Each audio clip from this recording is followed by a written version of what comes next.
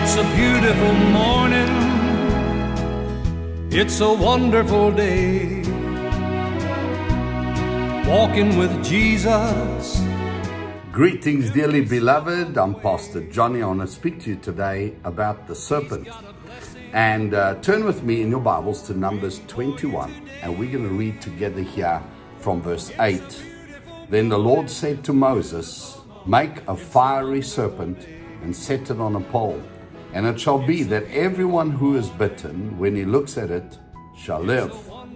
And so Moses made a bronze serpent and put it on a pole.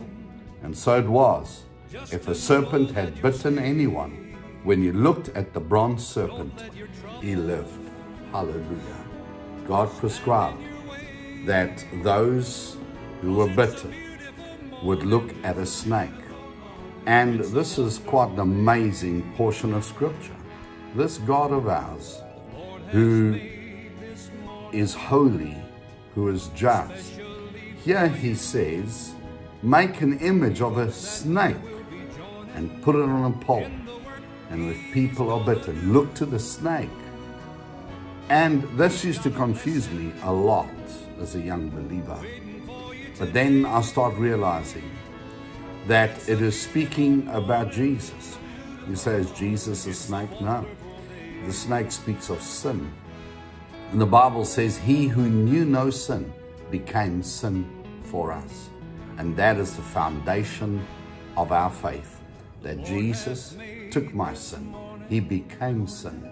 My sin was transferred to Him. And when He became my sacrifice for sin, I was redeemed. Hallelujah.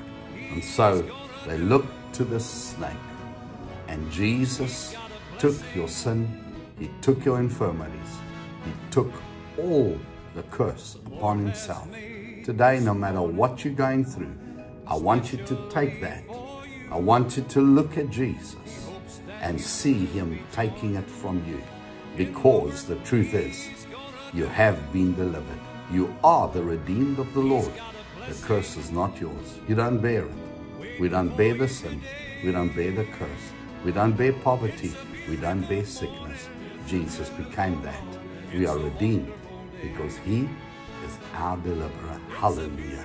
Look to Jesus and live today because He is your all sufficient Savior. I bless you, dearly beloved.